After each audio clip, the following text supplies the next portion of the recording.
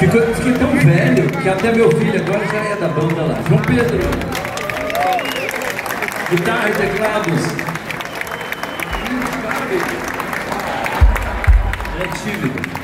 Danilo Abreu, da Transfônica Orquestra, fazendo os teclados conosco.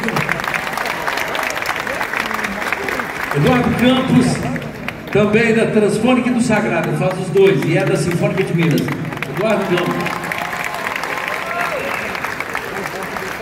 Meus irmãos de desde 87, Augusto Renault Guitarras, Ivan Correia Contrabaixo.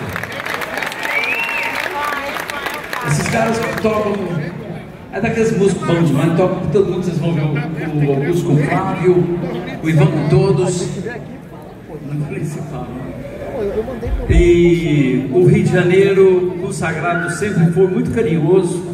Eu acho que desde que a gente começou em 79, foi o primeiro lugar assim que acolheu o sagrado, foi o Rio.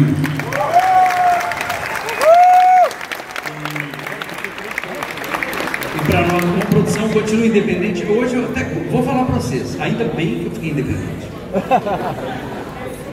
Pô, bicho. Então a gente acha que tem um público melhor do mundo. Eu tenho o público mais carinhoso o mais sábio, o mais completo de conhecimentos musicais eu fico muito feliz porque o que, é um artista pode querer mais? Né? Então, vou começar tocando uma música do Sagrado, uma das mais antigas, do primeiro LP, e que fala da necessidade da gente ter esperança e fé.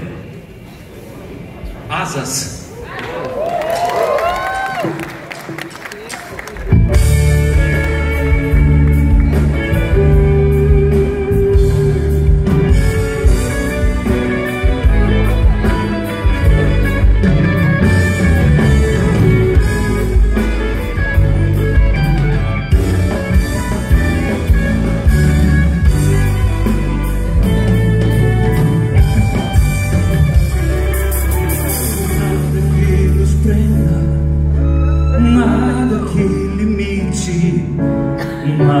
A corrente os nossos sonhos ao chão, nada que escravize os nossos pensamentos, pois o amor dá asas e na